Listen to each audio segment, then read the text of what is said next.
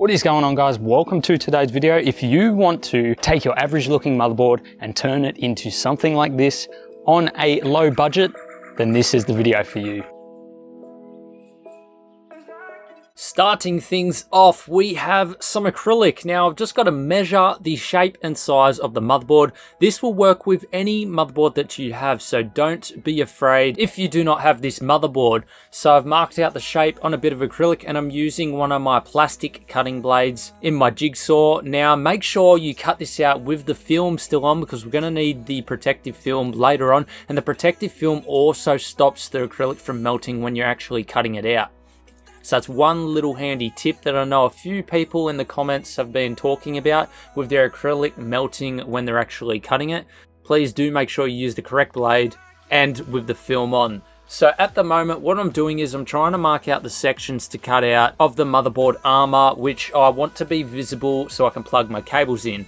Right now, I'm taking out the SATA cables and I'm also taking out all of the I.O. cables, which are down the bottom of the motherboard, such as the power, a few fan hubs, reset, and audio hub, and things like that.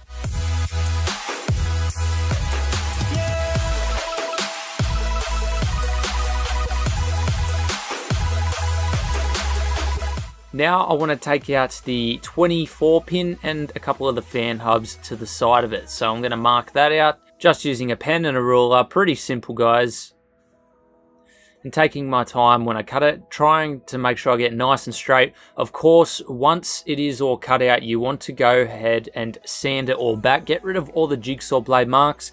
Now, I sanded back, but then I also made sure that I gave the acrylic a bit of a wet sand. And what happens is when you do wet sand the acrylic, you actually see the jigsaw blade marks a lot more when the acrylic is wet. So it's very handy to keep that in mind.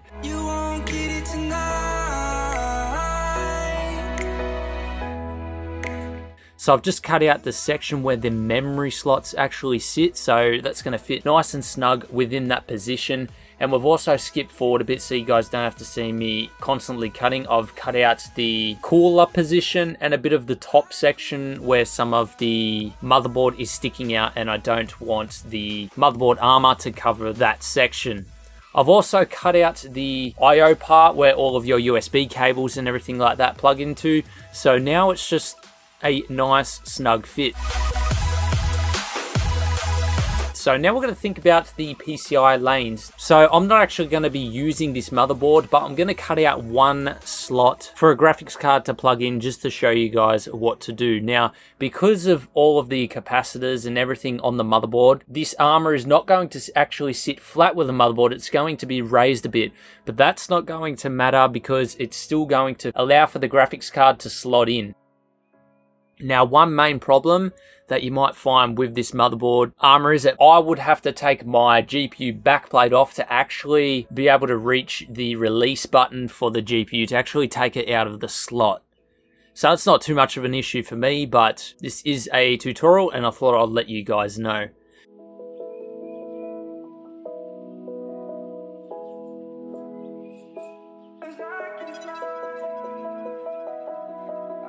So I've cut out the slot, the GPU can simply slot in like so.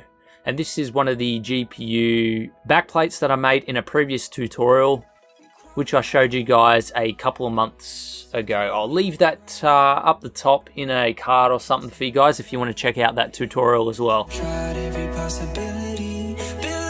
So for this next section, I'm actually making the I.O. cover and I'm heating a bit of acrylic so I can bend it around and down and connect it to the actual motherboard armor to create one separate piece. So I'm heating this evenly and I'm using the piece of wood as a 90 degree bend to make sure I get a nice bend in this acrylic. So I'm just pressing down trying to get it to bend and then I'll use my hands to further increase that bending.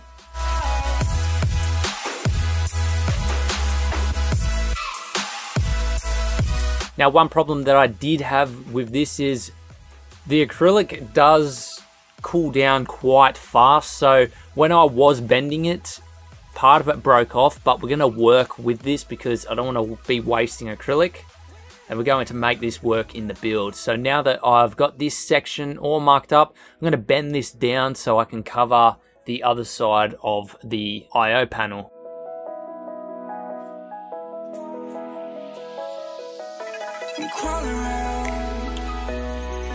So now that it's bent, let's give it a sand down and we'll get it looking nice and neat. This is just 180 grit sandpaper just to get the jigsaw blade marks out and get this fitting nice and snug. So as you can see there, it's not quite covering the whole thing. That is the section that broke off, but we made that nice and neat, so it's not going to be noticeable in the end. Now what I'm doing is I'm getting my sharp blade and I'm actually cutting along some of that protective film and creating some lines for in the future when I peel that back. I'm also taping off this section so I can create a couple of shapes on there and paint it and get some cool effects happening. Same with this section, just scoring along this line with my sharp blade so that I can remove the film to glue my sections on which I had cut out previously, and also paint some different colours. Pretty simple, pretty easy guys, just keep at it. I'm peeling back the film, I'm going to use an acrylic weld solution to actually stick these on later. So it actually fuses the two pieces of acrylic together rather than gluing them which is a really cool thing about that. It makes it a lot stronger as well. So I just went along with my knife and created just a couple of bends on these pieces that I cut out. And now I'm I'm going to leave that on, but I'm going to tape the back section of them because I need the back section clear so I can weld them onto the acrylic armor. I've painted the back section white because that's what I want to show through once I peel that film off.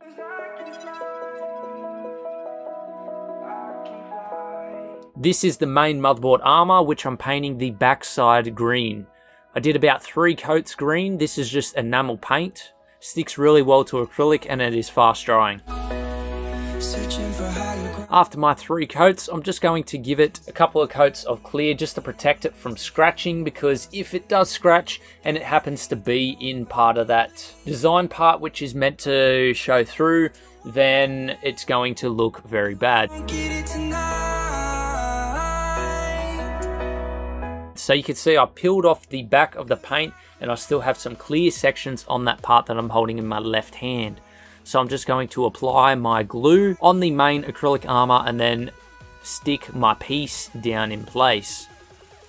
Now, if that acrylic weld solution was to get where the paint is, it would make a mess of it. And that would show through in the paintwork and the finish would not be good.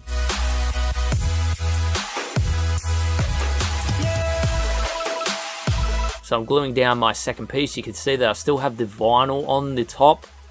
And I'm going to leave that there until we paint it black.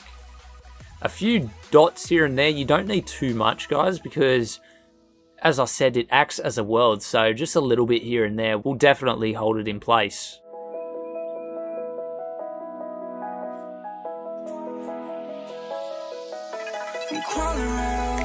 So now that this big piece is down in place, it is time to give the whole armor a nice paint job. This is what it looks like before we go ahead and paint it. Now this acrylic weld solution also does dry very fast guys, so don't be shy to start painting straight away. So I'm going over the whole motherboard armor with a nice black color. Now personally, I would like to use a matte black on this, but unfortunately all we had on hand is a satin black, so it's got a bit of a shine to it, a bit of a tiny bit of a gloss. And now we're going to remove all of these sections of film that we had left on the motherboard. This will show through all of that white, all of that green, and you guys will see the finished result. So you don't have to do green and white. Personally, I was going to do a black, white, and red armor, but unfortunately I didn't have red on hand, so I'll just use whatever I had, and this is how it turned out.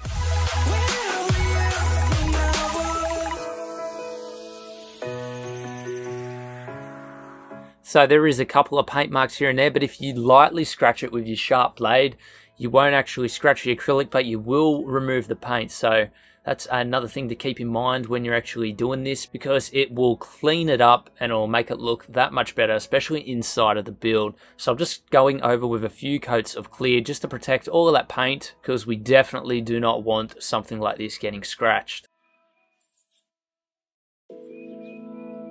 Alright, let's put it on the motherboard and we'll see how it turned out.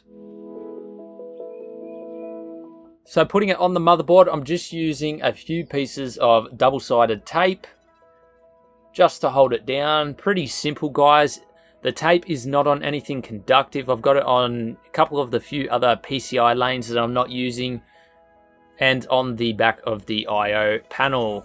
I hope you all enjoyed this video. Thanks for watching guys. Remember to like and subscribe. Leave a comment down below if you liked this tutorial and you want more. Also suggest a tutorial down below guys because I would love to hear some of your feedback and suggestions. Remember to check out more videos on the channel. We've got lots of custom PCs, water cooling builds, tutorials and reviews and we'll see you all in the next one.